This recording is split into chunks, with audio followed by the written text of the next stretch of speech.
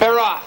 That's Chase Bird and Duffy Meyer for the early lead. Between horses, Eileen's first with Dory's Pride. Into that first turn, Chase Bird the leader. Tucking second, Eileen's first. In third, rough gated around the turn there was Eileen's first. Chase Bird opens up a three-length advantage. In second, Eileen's first.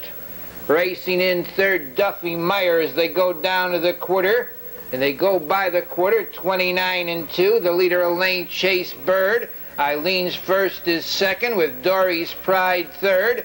Racing in fourth, Star Roars in fifth position. Duffy Meyer. Racing sixth to the three ace is KK Skipper. On the outside, that's Mandy Skipper seventh. Racing in eighth, Super Sally Sue is Better Be Pro at the end. They move to the half mile. Chase Bird leads a tight length. Racing second, Eileen's first, Dory's Pride third. The half one, one and two fifths. On the mid backside they go. The leader of length is Chase Bird. Eileen's first is second. Underway Star Roars third. Dory's Pride fourth. Duffy Meyer fifth. Better Be Pro out there sixth. In the final three eighths of a mile, Chase Bird three parts of a length. Gaining ground is Star Roars second, racing in third position.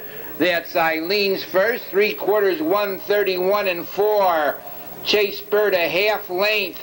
On the outside, Star Roars continues to gain ground second, racing in third, Eileen's first.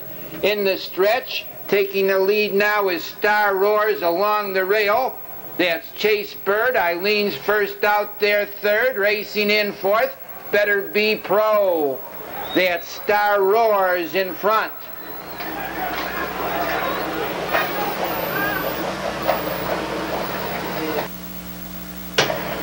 Number nine, Star Roars, is the unofficial winner. Three on the mile two two and two fifths. Don't forget racing tonight, of course, at 8:15.